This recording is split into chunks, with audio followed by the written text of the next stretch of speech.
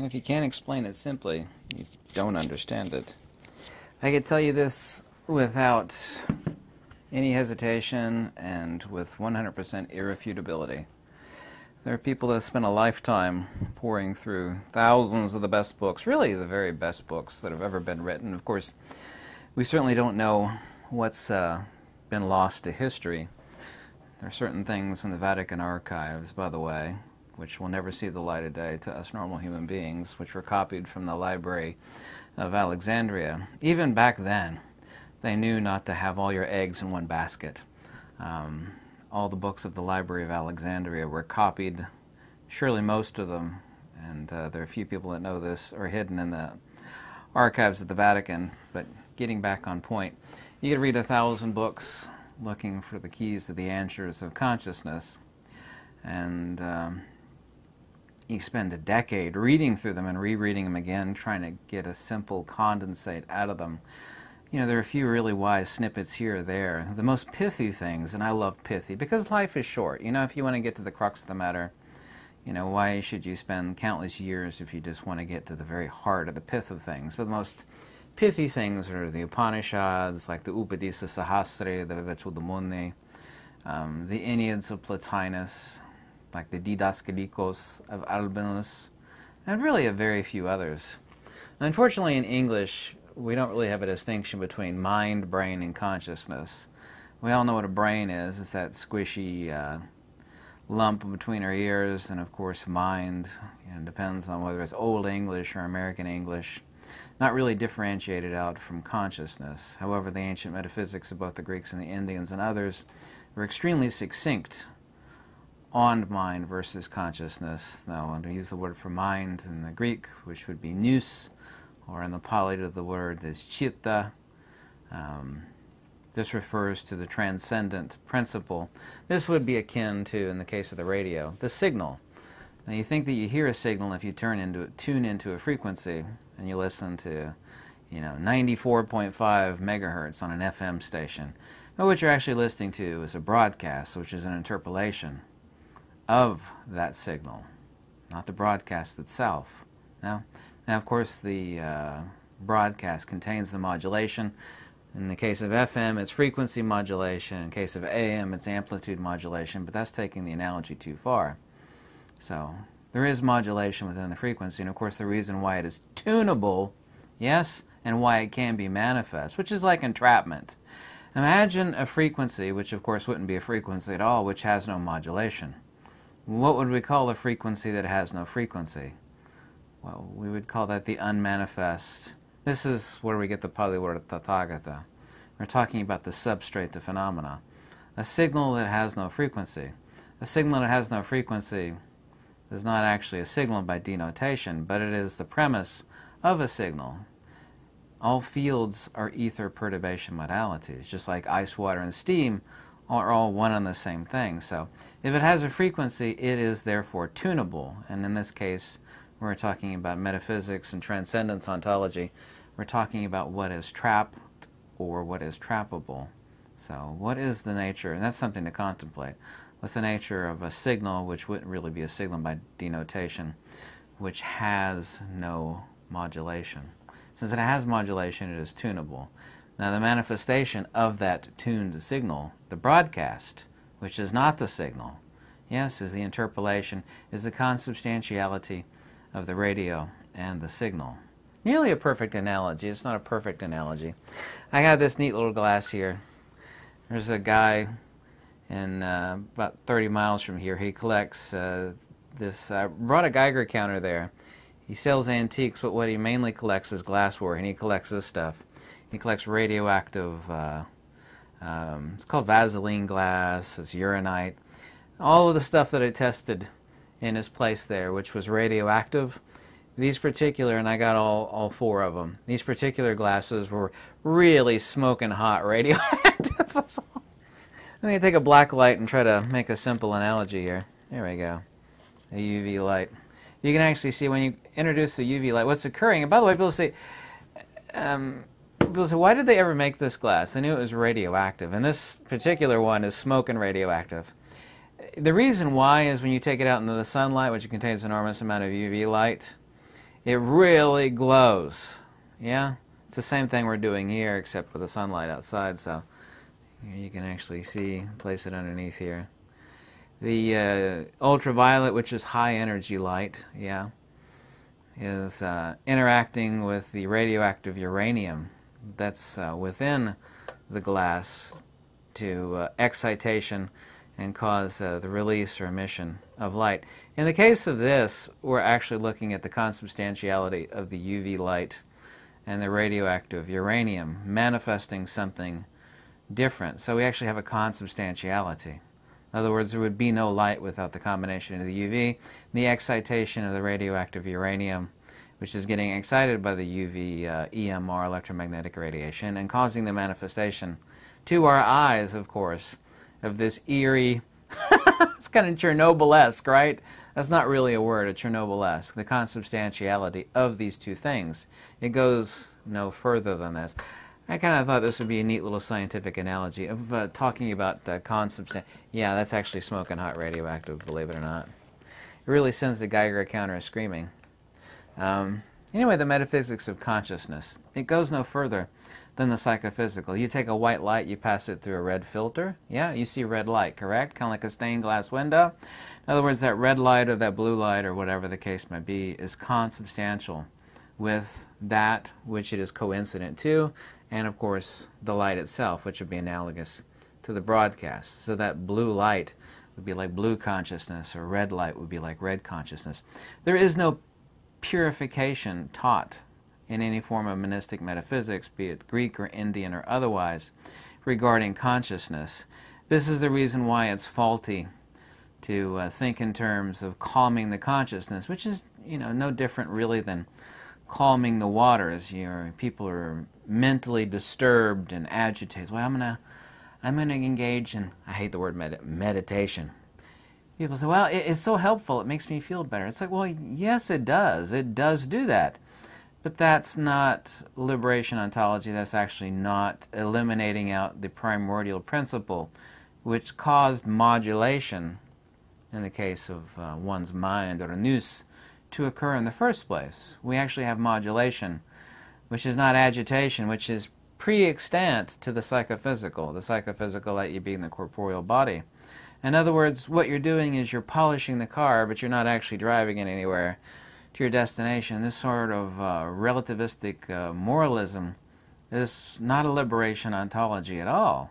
It's like, well, I'm going to be calm, I'm going to meditate, and no matter what comes my way, and it's just like, this is this is what the real teachings are about. And so much of the world is involved in this. And, well, it does make people feel better. This is undeniable. It leads to a happier life. This is also, too, 100% undeniable. It is not a liberation ontology. It is not addressing the primordial agnosis, which is pre-extant to the psychophysical. What people are doing is, like I said, they're polishing their cars. Like, look how clean my car is. Like, we're talking about morality.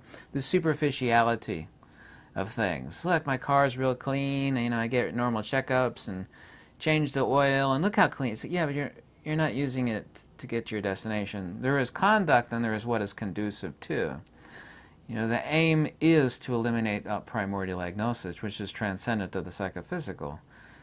There is no teachings of empirical purity found within Platonism, Pythagoreanism, original Buddhism, that of Advaita Vedanta.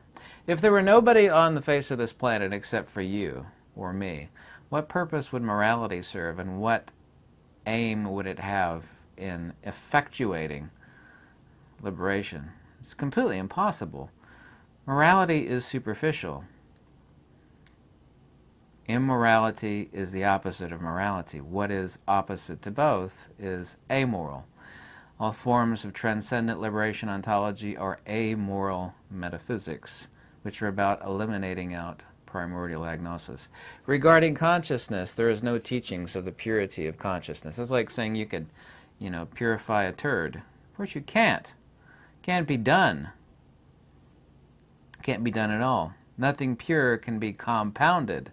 Nothing that's compounded can be liberated. There is no purity in what is compounded.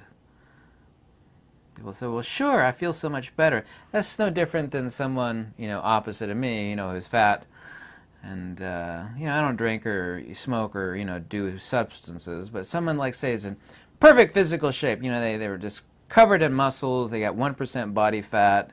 You know they're going to live to be 130 years old. That's wonderful. You know they they feel great, but they're still ultimately. I mean look how. Uh, trying to use an analogy. I'm not trying to pick on old Schwarzenegger here, but you know the guy was. Uh, you know, he won Mr. America how many times, and you know. I mean, now look at him. I mean, we're all going to get old and uh, you know suffer collapse. I mean, there are beach pictures of Schwarzenegger where he is bigger than I am. There is no purical. I. I didn't mean to pick on poor Schwarzenegger. I know he's rich, he's famous.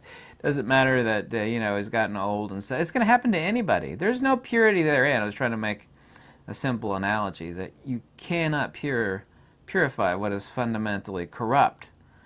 The notion of uh, purification of consciousness, you know, through different means and methodologies, well, it does have worldly benefits, and of this there is certainly no doubt. It's like it makes me feel so much better.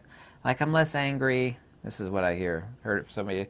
I feel less angry and I just get along better in life. It's, all those things are true, but that's nothing to do with eliminating out primordial agnosis, which is the impetus and drive and the engine for embodiment. The most important passage in Pali, of which there are about a dozen, for example, Suvi Suvimutta Chittasandabanlam, the thoroughly liberated nous or or mind or spiritus sanctum means nirvana. Nirvana, of course, just means nivritti, which means no more turning or perturbation or becoming which is no different than saying the signal with no modulation, which really wouldn't be a signal by definition. Just think of a broadcast, which wouldn't be a broadcast, that has no modulation. Something with no modulation is pure, unmanifest, non Cartesian, i.e., in counter space energy. It can't be tuned. If you could tune it, you could manifest it, right? If you actually took a radio back, say, 200 years or something, they would say, you know, there's a spirit inside. You know, it's it's living, and in a really crude sense, that's true. When you turn on a radio, you pop in some batteries, everything's working right. The speakers, the resistors, capacitors, everything's working right. And you're able to tune something. You're able to make it anything. The radio's alive, man. The radio's jumping. That's what they used to say. You turn in uh, like a nice rock and roll song on the the jukebox. Man, it's alive. Well, in a really crude way, that's true. It is about making what is modulated unmodulated because the primordial agnosis is the modulation which makes it tunable. And something that has modulation that is therefore tunable is the consubstantiality as manifest, which gives forth the broadcast, because the consciousness in all forms of monistic metaphysics goes no further than the psychophysical. The, uh, the uh, the uh, the broadcast in the case of the radio goes no further than the radio, which is a combination of the signal and the radio. I actually used the word broadcast a few minutes ago when I actually meant to say signal. Humble apologies for that. The signal, of course, is pre-manifest to the radio. The radio interpolates it, and then, of course, it uh, through the speaker gives out uh, the broadcast. Broadcast would be analogous to, of course, empirical consciousness. So. You look at it, literally can read hundreds, if not thousands, of the best books ever written to get to the heart of the matter of the nature of empirical consciousness, which cannot, in no way, shape, or form, be purified. There is no teachings of purification of that which is wholly temporal. It has a beginning in time, it has an end in time. Amata Dhatu, or the realm of immortality, could not be part of or parcel in any way, shape, or form to existential, i.e., empirical, i.e., temporal consciousness, because consciousness goes no further than the psychophysical, or namarupa, in the case of Pali. So I keep using these Pali words. I know none of you speak Pali or know what I'm saying. Maybe one of you does, but there is no purity, therefore, in the same. It's completely impossible to talk about purity of that which is consubstantial.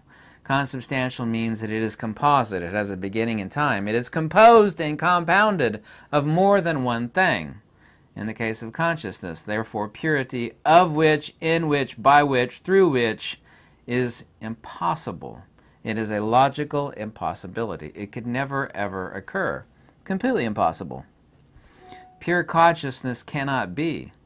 You know, it can be from above, because the higher affects the lower, but the lower does not effectuate proximity to or um, manifestation of the purity of that which is above. So, this is the reason why polishing your car is not going down the road and you know you, you keep your car in good working order so you could use it to reach your destination. You know there is what is conducive to something, but that is not conduct, i.e., morality. Morality and conduct have nothing to do with uh, liberation ontologies vis-a-vis Pythagoreanism.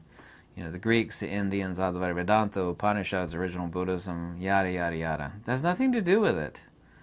Morality does not. This uh, notion of uh, English term meditation. It's like, I feel so much better. I just don't believe you. I've heard that somebody said. Well, of course you feel better. You know, this is true. Someone feels better when they work out and they're not fat like me, for example. You know, they're, you know, they're pumping iron and, you know, they don't drink or smoke and everything is, is better. You know, th this is true. You know, when your mind is not stirred up um, with, uh, you know, stress and nonsense and hatred and all, of course you're better. You have a better life. All of this is true, and yet it still misses the point entirely that these people don't get. That has nothing to do with eliminating out the primordial element of agnosis, which is modulation vis-a-vis the signal. People are sitting here trying to tune, and uh, I love using radio analogies, a ham radio operator. Like you turn in a, a crappy signal, it's like really, really far off. You'll use your antenna tuner or a better antenna with better gain, and the signal comes in clearer and better.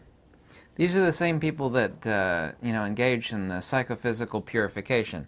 Of course, the signal comes in better. It comes in more clear. You know, sounds nicer.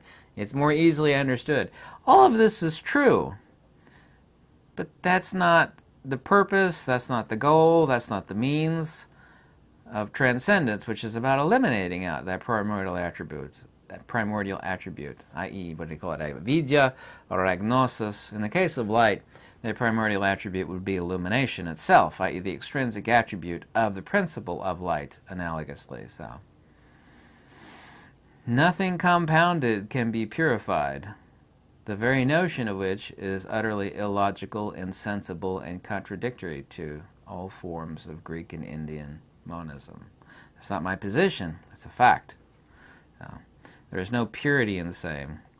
So when people use, uh, this is the reason why I'll never use the word meditation. I don't care if you like the word. I've been doing it for years. It makes me feel so much better. This is undeniable. I have never denied that.